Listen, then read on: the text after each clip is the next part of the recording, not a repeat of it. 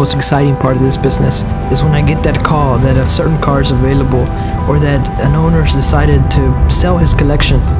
You begin a relationship with them on the spot.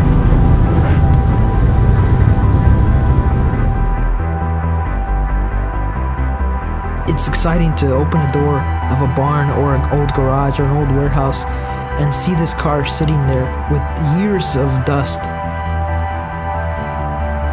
Every old car has a story. It's like a person. We see that, you know, the car gives you a lot of evidence of its history. You really you get to see how the cars were built and the honesty of a car.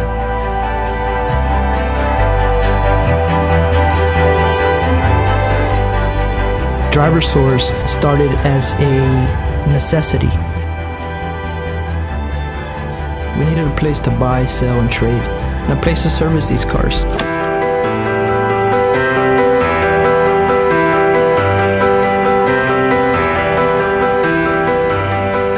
It's still a really special feeling to see something come in that you had photographs on your wall when you were younger.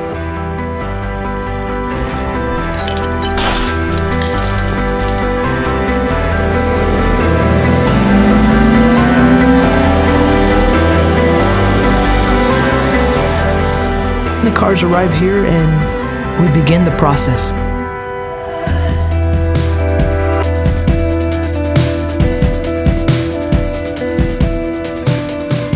Our mechanics have decades of experience getting them running, detailing them. We might take it to a couple shows. We might enjoy the car first before we decide to sell it. We want to know what it feels like to own these cars. When we started to understand the cars, we started to understand our customer base. Now we just strictly buy and offer the cars that we like, and it's something that's worked for us.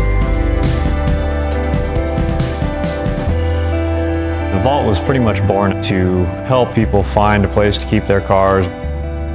They're not designed to sit for long periods of time without being run or driven. It's climate controlled, all the cars are kept on battery tenders, we have security cameras. When somebody wants to acquire one of these cars, we facilitate everything to make the buying process as hassle-free as possible.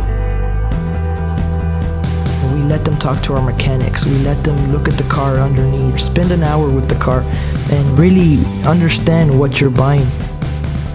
To be a part of selling them to the next owner who's gonna take care of them and love them, show them, restore them.